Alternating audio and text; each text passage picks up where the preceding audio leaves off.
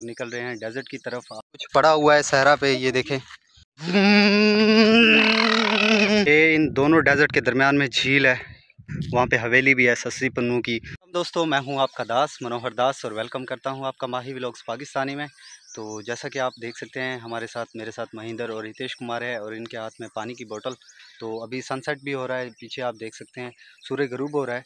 तो अभी हम खड़े हुए हैं अपने खेतों में और निकल रहे हैं डेजर्ट की तरफ़ क्योंकि खुम्बी का सीज़न आ गया है। तो ये सौगात होती है, साल के बाद निकलती है। जब भी गर्मियों में, सावन में बरसात होती है तो बारिश के बाद जब भी एक मतलब कि चार चार उंगली के बराबर जब ज़मीन नीचे सूखती है तो नीचे से खुम्बी निकलती है। तो आज हम जा रहे हैं, ट्राई करते हैं कि हमें खुम्बी मिलती है या नहीं। तो आपको दिखाते हैं खुम्बी किस तरह की होती है। अगर हमें ज़्यादा मिल गई तो उसकी हम सब्ज़ी भी बनाएँगे आज और आपको वो भी रेसिपी बना के दिखाएँगे। तो तो हम निकल रहे हैं डेज़र्ट की तरफ़। ये बिल्कुल फ्रंट पे सामने डेज़र्ट है। इस साइड पे आपने प्रीवियस वीडियो में देखी थी ये गारे हमारे ये खेत। और इस साइड पे तकरीबन ये नज़दीक नज़दीक सारी हिंदू कम्युनिटी बैठी हुई है। हाँ तो दोस्तों क्या हाल है? कैसे हो? कहाँ जा रहे हो? क्या लेने?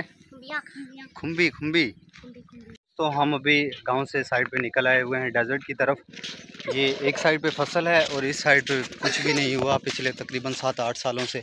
ये ऐसे ही बंजर पड़ी हुई है क्योंकि जब कभी भी ये थोड़ी सी ठीक होती है तो बारिशें स्टार्ट हो जाती है और बारिशों में फिर इनका बेड़ा गर्क हो जाता है। तो एक साइड पे ये भी किसी और की है पहले हमारे मतलब कि इधर थी उसके बाद कहीं और से एक ज़िम्मेदार आया उन्होंने ख़रीदी और उनकी माशाल्लाह अच्छी फ़सल है और इस साइड पे बिल्कुल कुछ भी नहीं है हमारा रॉकी भी है। रॉकी। तो ये हाल आप देख सकते हैं। यहाँ पे सात आठ साल से फ़सल नहीं हो रही है बिल्कुल हमारे गाँव में।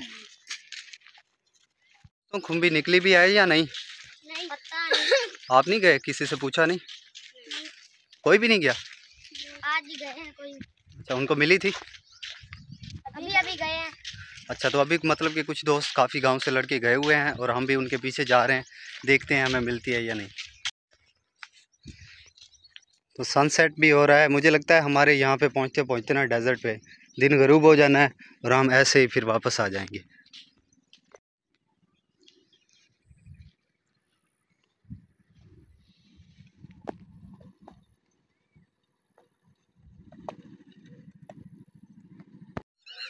काफ़ी दिन हो गए थे, कोई वीडियो भी न्यू नहीं बनाई थी, अपडेट न्यू नहीं थी।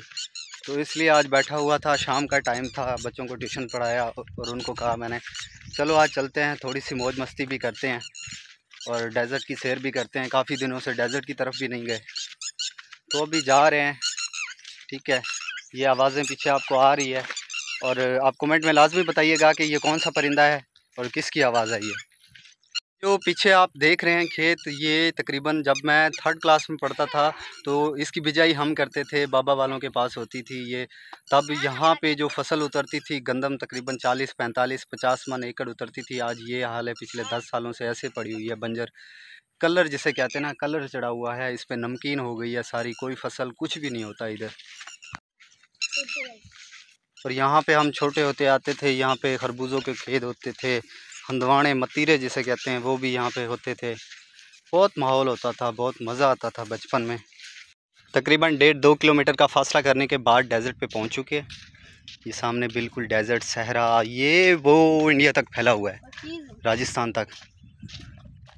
और यहाँ पे ये देखें, ये लाना इसे कहते हैं। कुछ पड़ा हुआ है सहरा पे, ये देखें, ये किसी चीज़ का ना चमड़ा है। खाल। शायद कोई चीज़ यहाँ पे मरी है, उसको जानवरों ने खाया है, या फिर किसी ने मतलब कि किसी का कोई जानवर की डेथ हुई है, फिर उन्होंने उसका जो मतलब कि गोश्त वगैरह निकाला और उसका चमड़ा यहाँ पे फेंक के चले गए हैं। तो यहाँ से ये टीला स्टार्ट हो रहा है।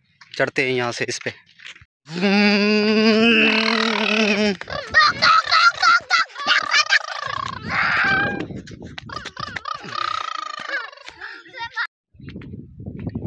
हर जगह का ना एक अपना सुकून होता है। हर जगह का। अभी डेजर्ट पे आए हैं।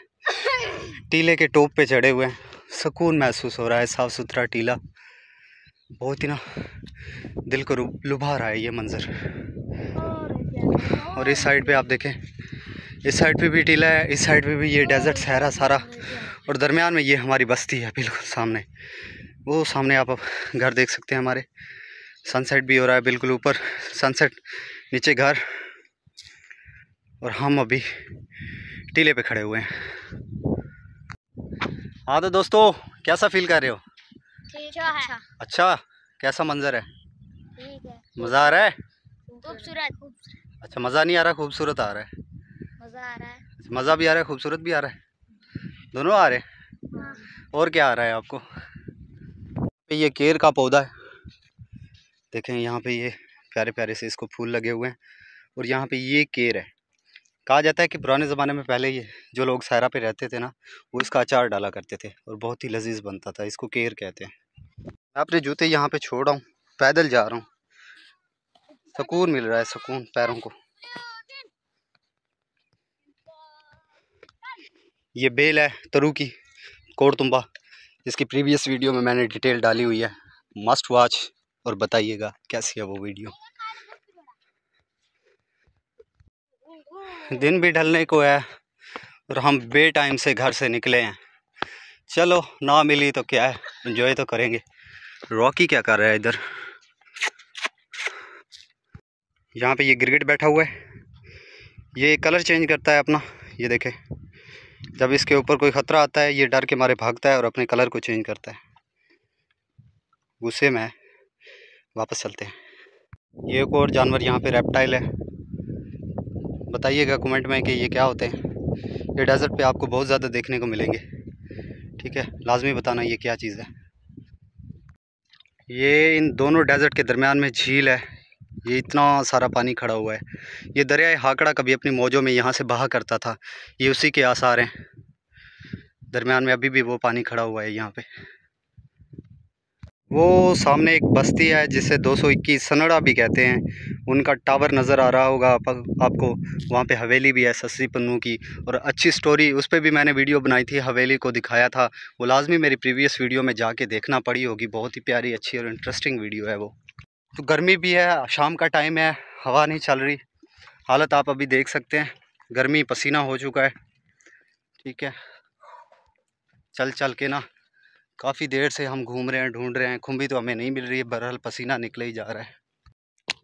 काफ़ी देर से घूम रहे हैं सनसेट देखो, बिल्कुल हो चुका है मतलब कि गरूब हो चुका है। जब हम निकले थे, तब काफ़ी ऊपर था, अभी तो बिल्कुल मध्यम हो चुका है ये। अंधेरा भी हो रहा है, और टाइम जो है टाइम हो चुका है छः सतावन मतलब कि सात बज रहे हैं, अंधेरा हो जाएगा तो थोड़ी देर और घूम के हम निकल लेते हैं घर की तरफ़। ये क्या चीज़ है?